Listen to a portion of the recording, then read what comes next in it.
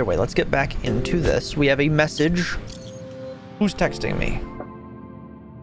I got a new sticker pack. It looks just like me. Oh.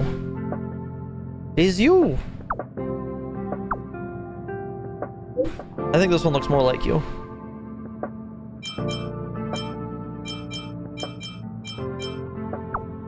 That one. No way. Do I look like that to you?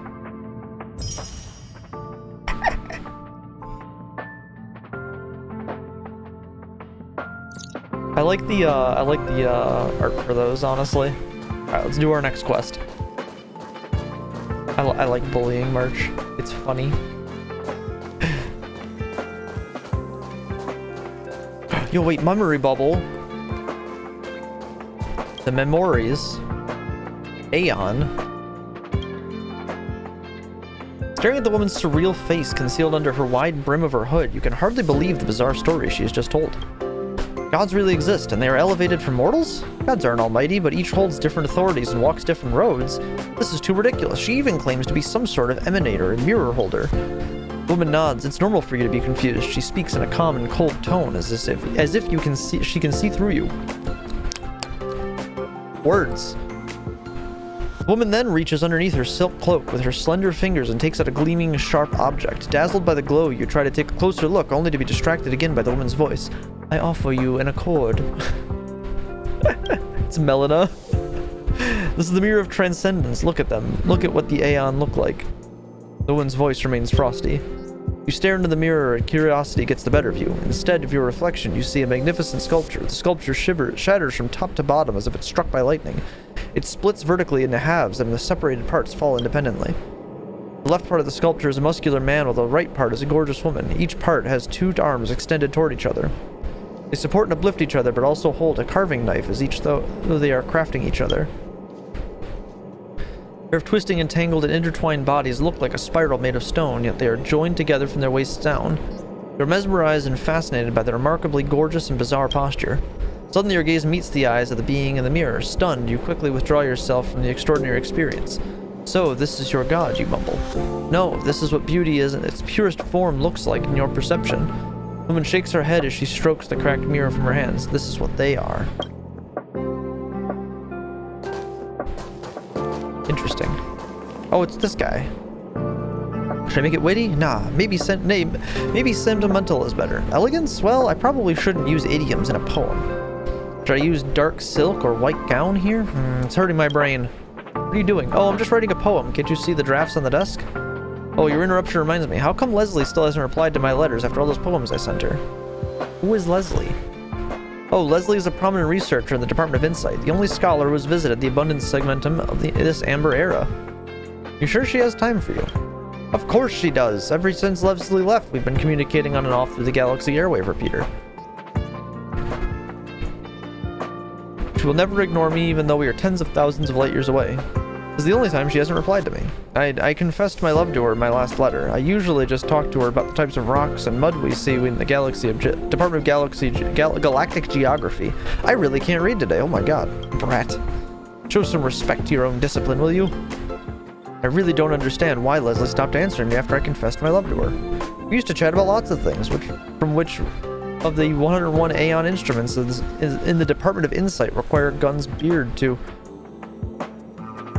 about how we use astro rods to examine the quality of soil, thus determining the rise and fall of the inhabitants of the planet. Who the hell talks about mud with a girl? Bro, you are very romantic. Ghosting you might be just her way of rejection. If this is romantic, then we had even more romantic discussions. During the communication where I confessed my love, she told me about a spectacular starquake. Think about it, a star died. Most people would try to hide, but not my Leslie. Not only did she get first-hand observation data, she even saved her ga a galaxy hitchhiker who almost died. I have no idea how happy she sounded in reply. Even the airwave repeater signal was cheerful. Whenever I receive a reply from her, I can't help but picture the smile on her face when I'd, I'd carve on under a rock. Before the Legion invasion, I had a bunch of rocks all lined up in a row on my desk. Unfortunately, they went missing in the chaos. Reckless romance. It's detrimental to your research. Anyway, there's no sign that she's going to reject me. If I don't receive her reply within her usual time frame, it means she there must be something wrong with the Galaxy Airwave Repeater. In my investigation, I found out that a group of Legion monsters occupied the area where her signals are transmitted. You help me find out what happened. Let me find out what happened to the Airwave Repeater. My master wouldn't let me go. Don't help him. All he thinks about is the Airwave Repeater. He hasn't done any proper work for more than 10 days. Shame on you. I'll help him. I gotta help out a homie. Nice. Don't listen to my master. If you have any, if you have the time to listen to him, you would have found the airwave repeater already. Listen, the airwave repeater is next to the disposal site. It's a massive warehouse for storing discarded curios. If you can resume our communications, I'll promise I'll reward, I'll reward you by inviting you to be our bridesmaid. Alright, where are we headed?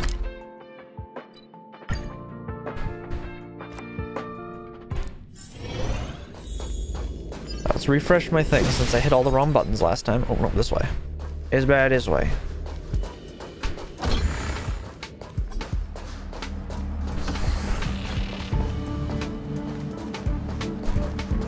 Oh, I can interact with the screen. Something's flashing at the bottom right corner is a strange icon in the trash bar. Wait, is there something here if I keep clicking on this?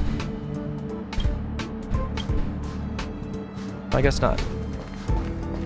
Investigate. Error. Abnormal route. Detachment protection activated.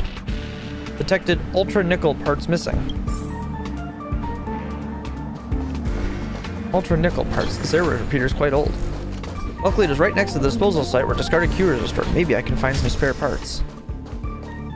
Good thing I have this place opened up. Items obtained. Ultra nickel part. Intricate parts dotted around the disposal site. Hardly anyone would notice these dated-looking, dull old things. Iron and nickel are gifts from the shooting star, but ultra nickel is something entirely different. Produced with mysterious methods, this super alloy, though outdated in the eyes of Herta, is patented and has no competition in the entire universe. No competition? You get one of these for 10 credits on the black market. They say you can use it to repair all the beacons in the universe. Very versatile. It's a fuse. It's just a fuse.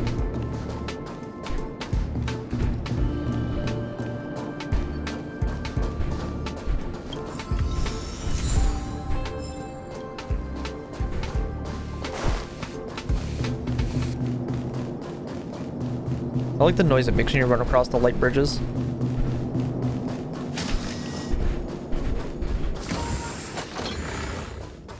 I have to wonder how much energy it would take to actually create a solid light bridge. Please submit the required items.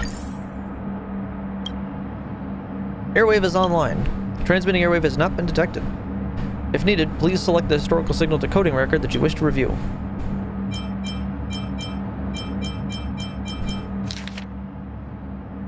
Unknown light years exceeds detectable distance. Recipient heard of space station Rocky Martinez. On the planet, the neighboring system, the air is so refreshing.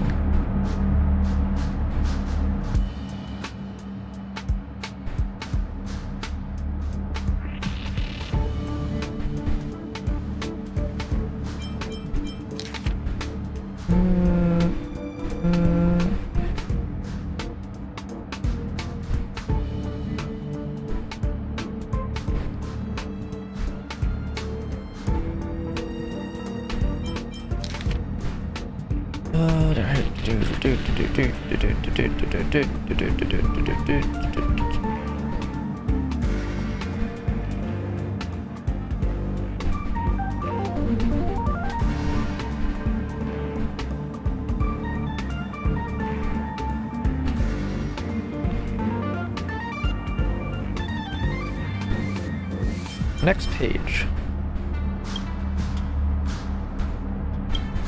No signal decoding record was found during this period.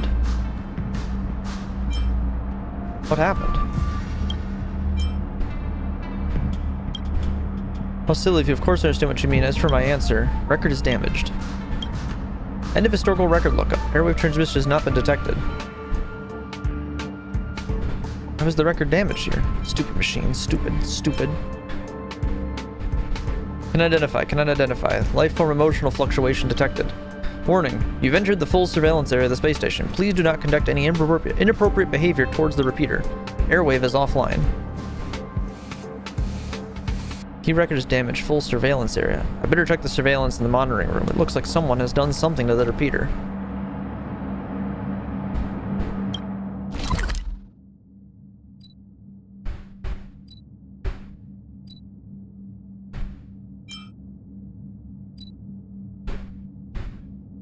I want to warp to the monitor room. There we go. Why the hell would it not let me do that?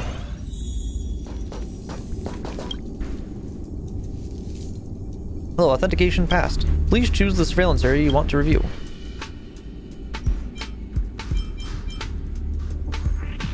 Can't believe the surveillance camera captured Asta and two rarely seen, rarely seen young researchers. But this is not the area I should be investigating. Time captured by the camera, the safe zone in the reception, reception hall hasn't been set up. Curio Collection Squad is nowhere to be seen, only the wandering monsters of the Legion. Isn't that March 7th in Dan Heng? It looked like they were in a hurry to do something. Forget it, the most important thing is to find the surveillance record of the repeater.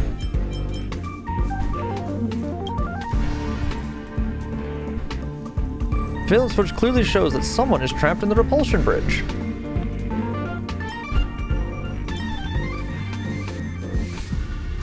Injured researchers under medical treatment in the medical cabin. Found it at last. Camera only captured the image of a blurry figure from behind. It looks like Bernard?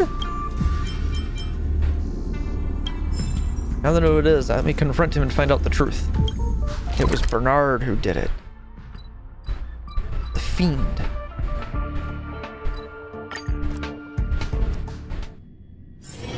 It's getting late. Where to now? Oh, hey, it's another bubble. Hang on. Betrayal. Is this Illidan? You scan the venue through a 160 degree wide angle lens with a diameter of 20 centimeters. Thanks to the 46 marble pillars that support the dome ceiling with a diameter of 43 meters and a height of 138 meters, the colonnade is a hall 190 meters wide, 310 meters long, appears spacious. The actual number of attendees is 136 when it should be 138. 42 of them are on your left side, 44 on your right, 49 on your opposite into the distance. While the last one is giving a speech on the stage below, not far away from you. Ladies and gentlemen, the person is speaking at a volume of about 45 decibels. Now we proudly present the latest product of the Aiden Jacobson Jaco Aiden Jacobin School of Mathematics and Science, the Pronto Expert System. A thunderous applause erupts from the audience. The speaker continues. Pronto is the first supercomputer with powerful artificial intelligence in our country. It features groundbreaking functions such as natural language and graphics processing, and emotional and behavior behavioral recognition and responses. The speaker's volume increases to 61 decibels, causing discomfort to your pressure-sensing membrane. As you have been trained to obey human instructions, you do not generate audio signals to express your subjective feelings to the crowd. In the coming Spindle 5 mission, Pronto will unprecedentedly pilot the research vessel as the sixth passenger, Speakers in high spirits. A cluster of disordered intellect. Intel disordered intel intelligent pulses passes through Area 42 of your silicon chip substrate and vanishes in Area 56. You know you are sick of the cliche. The unstable pulse is proof. At that moment, someone from the audience stands up. Pronto, the person speaks in a tentative and questioning tone. You're assigned a very important role in the mission. Will your confidence be swayed by the amount of work? Disdainfully, you increase the voltage in Area 78, moving the shutter the uh, shutter the solenoid valve with a click. Then you adjust the motor to move your mechanical arm to the correct angle. Let me answer you this way, sir. Your diaphragm creaks. The Pronto Expert System is the most reliable artificial intelligence in history. I've never had errors or produced dis distorted information, you say. I am genuinely impeccable and flawless. Sounds like the creation of Lieutenant Data from Star Trek.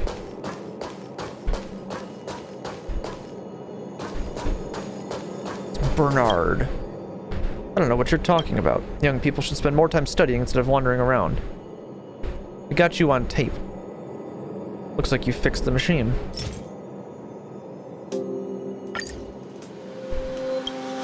Thanks to you kids, I'm worried to death.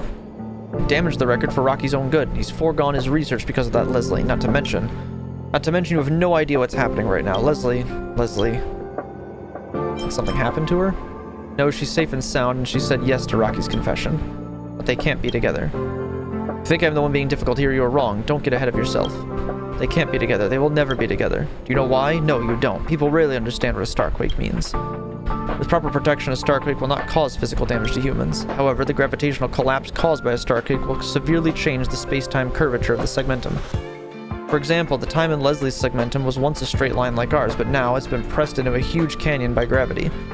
Clearly, a curve is always longer than a straight line. Therefore, the time curve of her segmentum is going to cover several times the length when covered in our timeline. Do you even know what that means? Flow of time will be different? It means the velocity of our time is different from hers.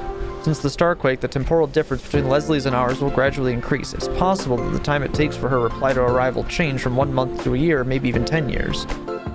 This isn't just about her message, but everything she does. Until she leaves the abnormal gravity environment, every month she spends in the galaxy will equal decades for us. Let's say if Rocky, including us, is living at a point, at a point called the present, and by comparison, Leslie, she's living in the future. I used to be a young man once. In my opinion, not being able to be with someone you love is even more cruel than being rejected. It's not up for you to decide. I want to tell him the truth and tell me, what can he do?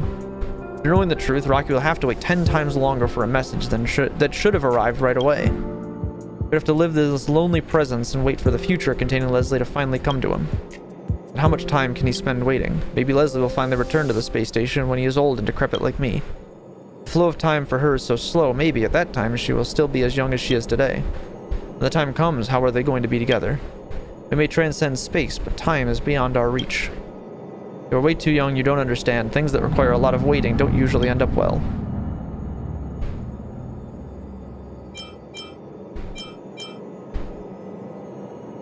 I'll never give up if he doesn't know the truth. Hmm, naive kids. At first I thought if I damaged the record, take away the parts, and blame everything on the monsters, I could keep Rocky in the hope that one day the repeater will be repaired. Now, since you have found out, the decision's up to you. I have two signal logs I copied from the repeater, red and blue. The red log contains Leslie's real reply, including the truth about the Starquake. To be honest, even I can't imagine what Rocky will do after finding out the truth, given how impulsive he is. The blue log is forged, in which Leslie refuses Rocky. Don't think about this as cruel this way. Rocky won't have to wait for her reply in the future. He can just move on with his life. Let's call these the red truth and the blue lie. It's up to you to decide which one you want to give him. The red pill and the blue pill. It's the fucking Matrix.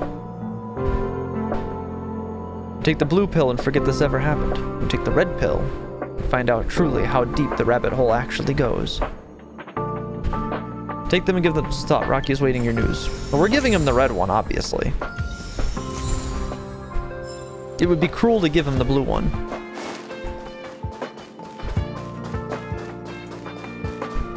Better he knows the truth and make his own decision than tell them a lie and have him live in false ignorance. Smart water raises their IQ.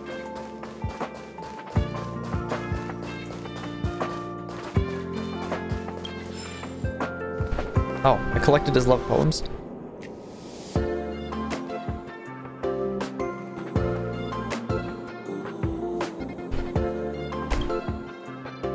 Bro, you're back. While you were away, I wrote another poem called Praise Leslie. You fixed the repeater? I see you're holding decoded backups. Now, which one's for me? The red truth. You seem hesitant. Are you sure the red one's for me? I am. Very certain it wants you to make sure you make the right decision here, huh? Yeah, thank you, bro. After some time. I can't believe it. Leslie said yes, but the Starquake. I can't get my head around this. So because of the gravitational effect on the Starquake, every month she spends in her time will be decades for me. Am I going to be as old as my master when she's back? My interpretation correct, Spexy. Help me take a look. I'm a bit slow. Is that what she means? I think so. She's gone to the future, and I am left in the present. Is this what happened?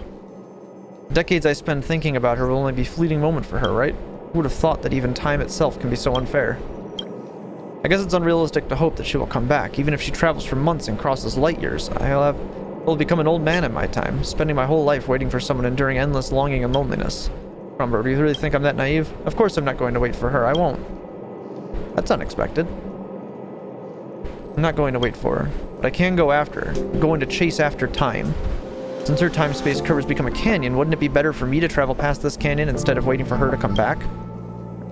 It will take me 10 years to find her, who has only spent a month. But once I do that, our time will be synchronized. It's better than sitting here and doing nothing. Don't you agree?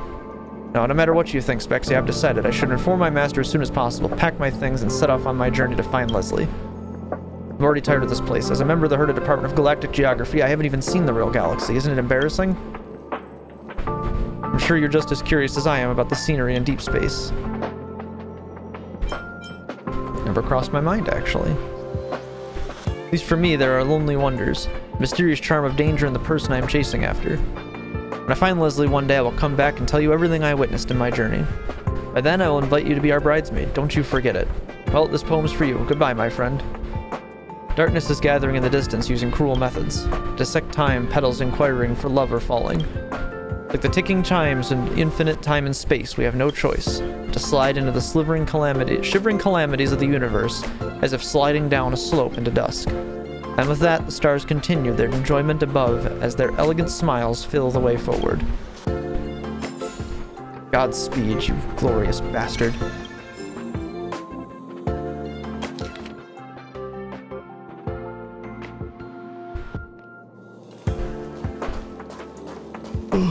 I wish Rocky Martinez luck. I hope he finds who he's looking for. People who buy that. What was that other circle? I found it. I saw another memory here too.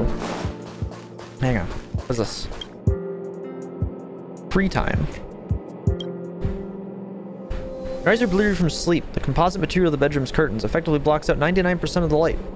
Were not for your psychic tentacles, you would be hard-pressed to discern the structure of the space surrounding you with your eyes alone, even though you have been living here for since 50 years ago. It seems like the weather outside is quite gloomy. Thick, dark clouds hang low in the sky as they gather and roil. The temperature is low, and you realize that it's already autumn. This kind of weather is perfect for sleeping. No wonder you slept so well. You leave your warm blankets and pull open the curtains, greeted by a landscape that matches what you sen what you sensed. Looks like you are not old yet. You turn towards the age TV and detect direct a psychic energy beam toward it. TV lights up in response. The midday weather forecast is on. Starting at noon, the Deveron female in the TV says a sweet voice. Forecasts show that heavy metal rain snowfall will continue throughout most of the Komote metropolitan area. Residents are advised to avoid outdoor activities as much as possible. Just yesterday, you learned at school that the surface temperature of the planet Komote is extremely high. Heavy metal compounds undergo evaporation due to high temperatures, which cause, causes them to rise in the troposphere. They then condensate and combine with inorganic acids in the atmosphere, after which they return to the surface in form of precipitation. Quietly reviewing this bit of newfound knowledge in your mind, you swell with satisfaction. Intelligent life forms always enjoy taking pride in knowing obscure trivia that others don't. The corners of your mouth rise up as you turn to go to the kitchen. make yourself a cup of hot cocoa, the drink of choice for this kind of weather. What could possibly be better than enjoying hot cocoa while snuggled up in a nice thick blanket and streaming a drama you enjoy as the heavy metal snows down? That's exactly what you do, you say to yourself. The brown liquid in your mug is piping hot. Your psychic tentacles lazily flop down in your head. The sweet flavor and the comfy warmth flood your body as the cocoa enters your stomach. You feel relaxed and direct a psychic energy beam towards your desktop computer. All these shows look pretty good. LeBlanc, the Meteor Thief, Breaking Good, Breaking Good, Dr. Flat. Thank the stars for your interstellar peace model. Curl up on an adaptive chair and cover yourself in a fleecy blanket. There's a nice warm cup of hot cocoa in your hands. Your free time has truly begun. Outside the window, snowflakes gently, gently fall from the sky. give off a fluorescent glow as, the as they drift wherever the wind takes them. That no longer has anything to do with you. These are fun. I like these. Space plant.